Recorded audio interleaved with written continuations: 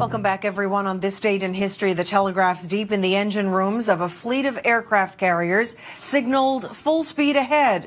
Those ships were headed into history and a date with destiny. Here's NTV's Jim Furlong. On this date in history, the year 1951, two years and a bit after Confederation, the Liberal government of Joseph Smallwood went to the polls. They won 21 seats and retained power. It was no surprise the baby bonus and the pensions that were part of Confederation were pouring in.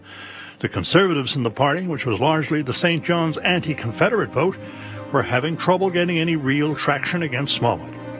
Also, 1953, Bowaters passed over deed and title to six square miles of land at Big Falls on the upper Humber River to Newfoundland. It was land that was to be a national park.